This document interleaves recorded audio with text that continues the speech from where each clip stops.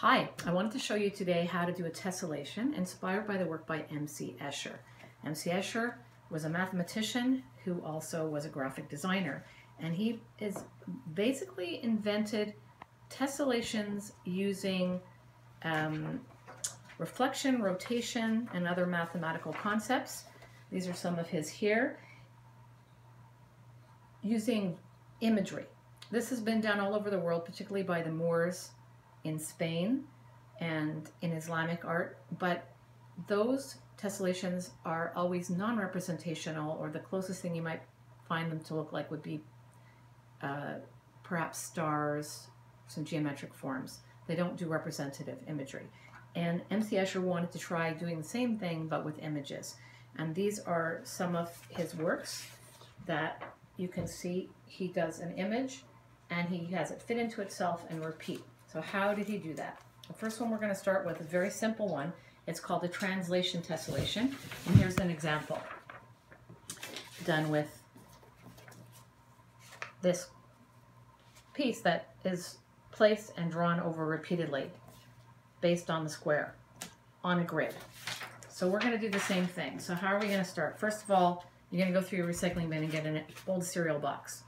You'll measure on it using your ruler. The tools you're going to need to get started, ruler, scissors, pencil, tape. And you'll measure 5 centimeters by 5 centimeters. So you can do a couple in case one doesn't go well. Do more than one. And what I do is I, I put dots at every 5 centimeters. And I connect the dots as straight as I can to make a straight line.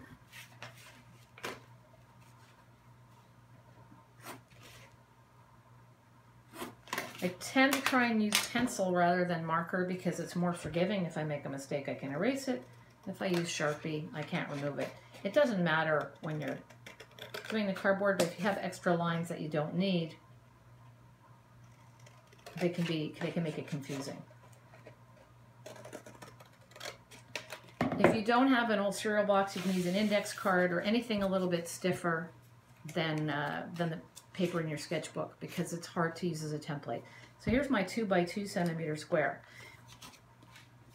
What I'm going to do is I'm going to draw on it two places. And at this point we're going to swing around so you can see over my shoulder what I'm doing. So I decided for this one that I would do this kind of shape here. I'm doing it in pencil first so that I can make sure that it's correct, but I know that'll be hard for you to see at home. So once you're happy with the shape, you can do it with pen. And this is called a translation tessellation because it simply slides along the page. It doesn't rotate or do anything else. So after I draw that, I cut it out. And I cut extra squares in case I don't like my shape. I can do more than one.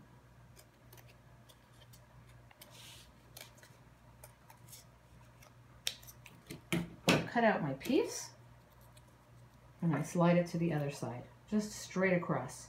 And I make sure that it's lined up and I tape it into place.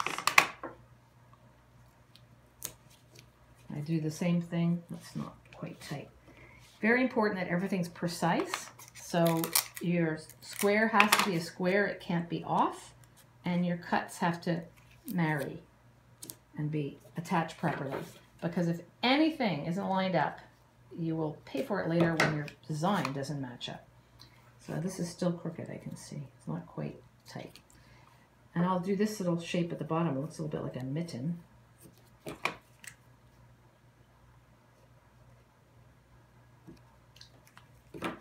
and that one gets slid to the top. Don't worry if you have trouble following the verbal and visual directions because I've actually typed this up and have a handout for you. So if you're more of a person that likes to read it and go over it and follow it step by step by reading, you have that as well as this video. So you have two ways to review this at home and do it. So I've moved this to the top. I just slide it up. Now the mitten shape. Easier said than done. If you want, you can practice on a bigger size, The first one I did was three centimeters by three centimeters. This is three by three. It's a little bit easier to handle for my big and clumsy hands, but you won't fit as many in your sketchbook. So that's why we're doing the smaller one. So there's my shape that I'm going to see how it works. So before I even draw my grid, I'm just going to fool around with this on the paper and just see what I get, how it fits into each other. So I draw around it because now I have a template. Oops, try not to move it. You don't need to tape it, just hold it still.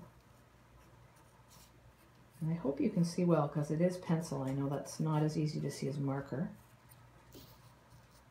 And I slide it and match it right up and draw the next one. And that is why it's called a translation tessellation because you just slide it across. We will look at other tessellations later that are reflections.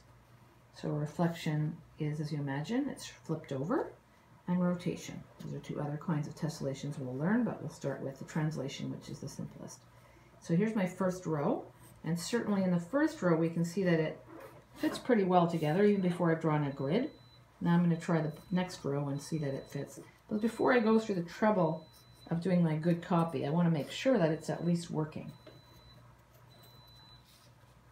And the other reason for doing this is I'm going to try turning it different ways and see what it looks like because it could be anything. So I could keep going, but I can see that this works. I'm going to look at it different ways and see if it reminds me of anything. This way, it almost looks like it could be a dragon, a happy dragon. There's his wing, there's his feet, there's his back foot. We do something different to make that his tail. What do you think? Does he look like a dragon? This way? Here's my dragon. Do it in pen so it's easier to see.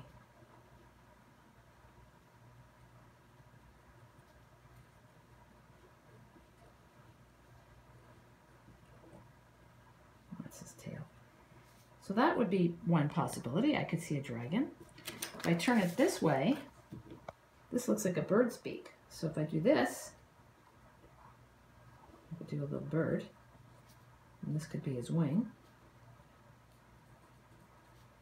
That could be his tail.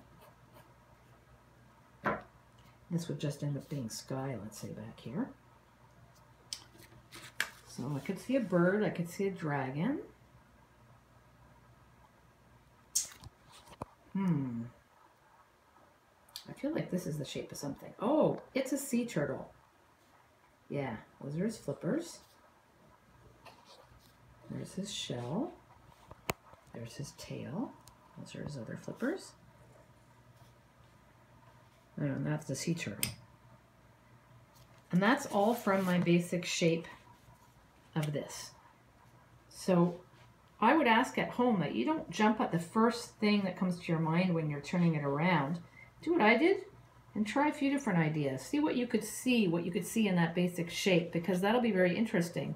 Now, if I wanted to do something like MC Escher, I could have fun with my sea turtle and my bird because he did a series called Sky and Water, which I know I bookmarked, so let's find it. My book is so well loved that it is falling apart.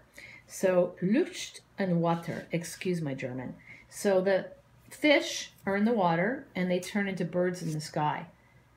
You could see where my bird and my sea turtle, okay, right now it looks like my sea turtle eating my bird, but I could play with that and certainly create something where one changes into the other, which would be fun, rather than just having the same object. In this case a fish, it's blue fish and yellow fish. These ones would be blue if I finish coloring it in. So the next part, you've done your square, you've played with your square, you've done a few designs of your square, and the next part is to draw your grid. Here's another version where I did a horse. I'll make it dark so you can see it. because I know uh, it's hard to see otherwise. There's a kind of a funny horse with the same shape. Okay, so how do we draw a grid? And there's a finished grid. Again, start with pencil. If you're using Sharpie like I was, protect the table. That's why I have several pieces of paper because it bleeds through. So using your ruler, I think I've lost my pencil, so I'll use a pen. I have rolled under the table. I'm going to draw a line every five centimeters. So there's five, 10, 15, 20, 25. I'm going to do the same at the top. And make sure that you start the same way.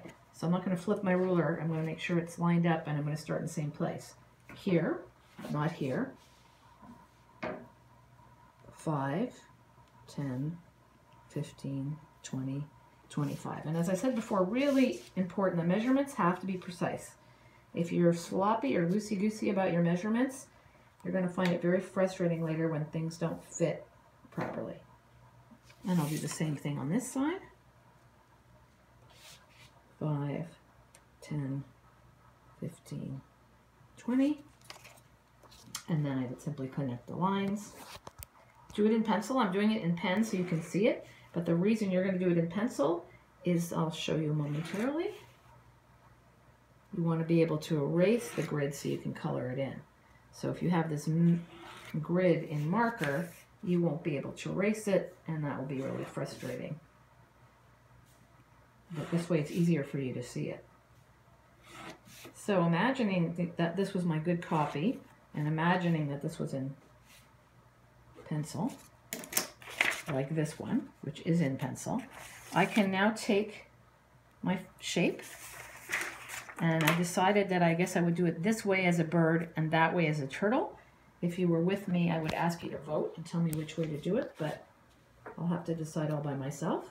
But the first step will be to draw this. Again, I'm using pens so that you can see it at home easily, but do it in pencil. Because if you make a mistake, you can erase it. And you can be more precise with it afterwards. So I'm going to go around the template.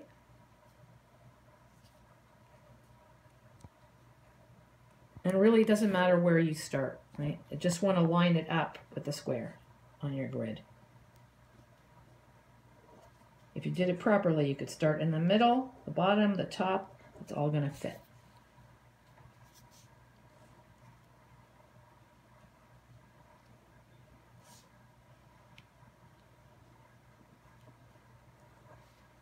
Okay, I won't do the whole thing because I think you understand it by now.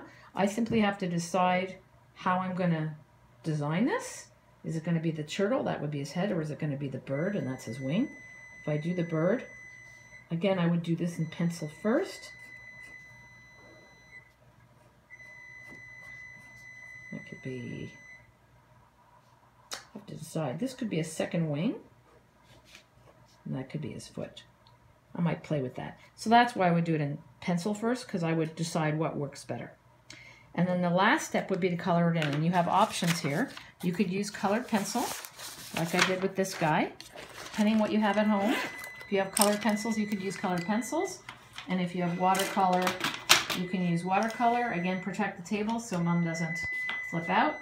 Sorry about that. My Instant Pot is telling me that it's ready. I don't know if it's going to stop or it's going to keep doing that, but we'll just finish this.